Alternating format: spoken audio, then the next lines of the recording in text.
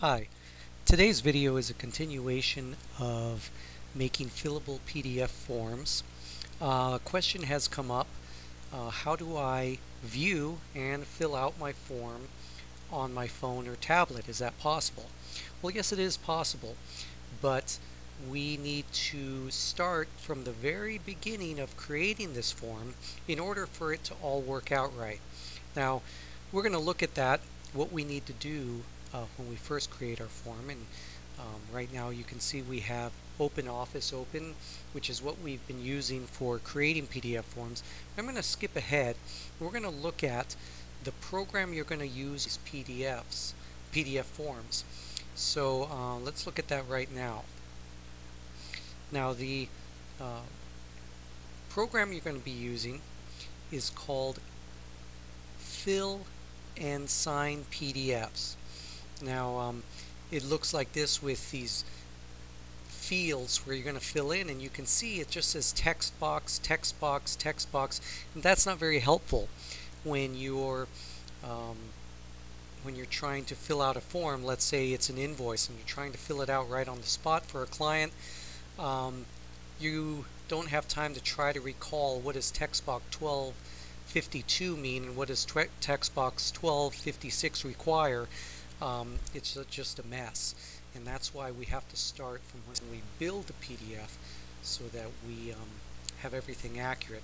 Now you can get this uh, this uh, app from Google Play. Uh, it's called Fill and Sign PDF Forms. And you can see here that uh, it's by Binary Solutions.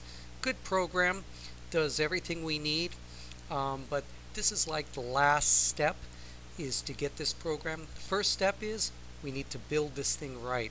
So let's get started on seeing how do we build this thing right. Now we already talked about how to build a form and I'm just going to make some little generic quick thing here. This is our form for example and we can make it gussy it up if you go to the top and go to view um, drawing, then you can have this toolbar on the bottom that allows you to draw lines. There was a question, how do I make a line and kind of decorate the thing? You know, you might want to format things that have, you know, the, the top of the invoice or what it, whatever form it is um, divided by a line and uh, some text. And so we're we're just seeing how to go about doing that here just go to the bottom, find the line um, option there, and then you make a line. Uh, you can also make squares, rectangles, circles, different things. Uh, but for our uh, video here, we're looking at how are we going to make form fields that are going to work uh, for phone or tablet when we're filling it out. So we're going to take a text box and we're going to put it down here.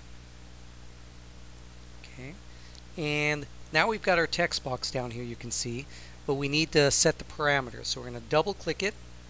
It's going to open up a box that's going to allow us to put parameters. Now if you notice on the top of this box, very important, we didn't really look at this before, we didn't really name it, but now since we want to be able to see each form field and understand what it's going to be, we're going to name each form field name here or something like that. That way when you're filling it out in front of a client or you're just filling it out on the spot, you don't have to remember what each box requires. We could even put date uh, for this form field. We can put amount or uh, uh, quantity oops quantity and uh, you put that up here in name. Do not put it in label field. Uh, you want to put it in name. And this will show up not on the form but um, uh, when the client sees the form but on the form when you're filling it out that's what it's going to say there. That way you know what particular field you're filling out. So we're going to format the rest of this we don't want any outline on this, so we're going to take out the 3D look from the border. We're going to make it without a frame, so it's kind of like invisible, but when we go to fill it out, it won't be invisible.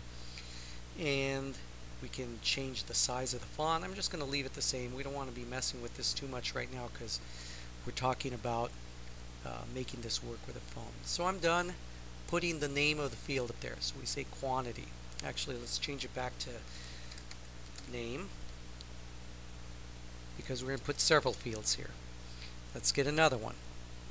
We're going to make another text box right underneath the last one and we're going to double click it and this one will also be calling itself text box 2 uh, because or text box 1 because we changed the name of text box 1 and so if we hadn't this one would call itself text box 2 and then we open another one it would call itself text box 3 and so on and so forth in this case we're going to change the name to we have name we're going to put date and we're going to again take out the 3D look I'm just doing this because this is what I prefer. You can leave the 3D look in if you'd like.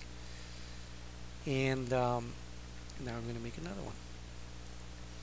And this will be, we'll make two more. That way when we fill out the form, you can witness what they look like, how we're going to tell the difference between them. This part we're going to put, um, uh, we'll put units Sometimes in an invoice you might want to put how many units you have in there or what type of units it is. Uh, let's say it's labor or um, some type of part. So we're going to go here, without frame, close that, and, and actually I'm going to type in, well actually we're going to do the last one here, make one more. I'm trying to make this quick here. So it's not a really long video for you. you. You're getting the idea of what we need to do on each of these boxes. We need to specify each one of these boxes.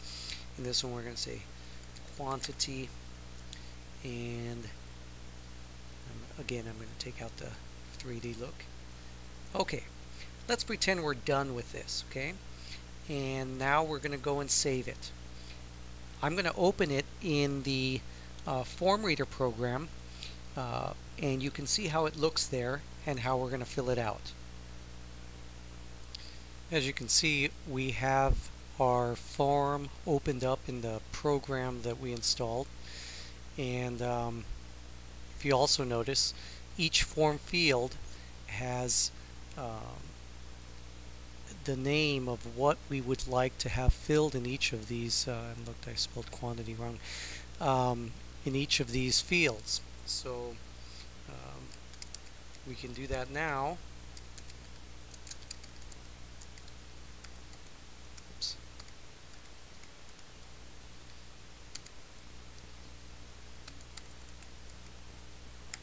So we've uh, put a name, a date, uh, how many units, what quantity, spelled it wrong, um, we want, and then um, we can go ahead and save and share. So this is pretty much the final step. This is like the proving ground to see if everything that we've done in previous steps is going to work out as far as creating the fields correctly, naming them correctly, and um, then the final proof will be when we open it up as a PDF the way a client would receive it or whoever we're sending this PDF to uh, would see it. We're not going to see these name, date, units, and quantity. We're going to see my name and the date and so on and so forth. So uh, that's how it looks when we fill it out and if we did the first step correctly which was creating these uh, fields then everything else is pretty easy.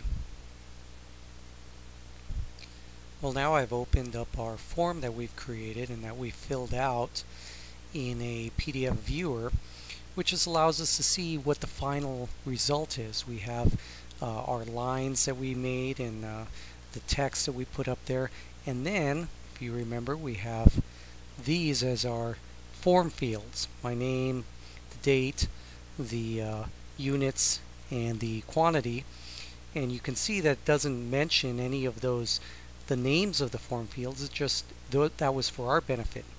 And so we filled it out and this is how it's going to turn out when we send it to um, our client or whoever we want to send it to. So to recap, uh, what we need to do is make sure at the very beginning we are filling out the name field uh, so that we know at the end what we're filling out when we're filling out this form. Uh, every other step doesn't matter if we get this part wrong. Um, if we don't fill this out and we just leave it text box 1, 2, or 3 or whatever it is, we're not going to be able to know what we're supposed to be filling out on this form afterwards. So uh, make sure this is done at the very beginning.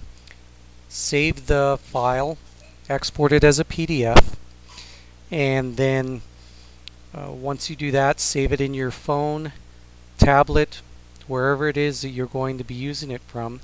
Make sure you install the app that we mentioned earlier and uh, then open that PDF with the app and you can fill it out and uh, send it and that's it. Just uh, making sure that this first step is done and that makes everything else fall into place. If you have any other questions leave it in comment section. This video was an answer to the question how do I fill out these forms on my phone or tablet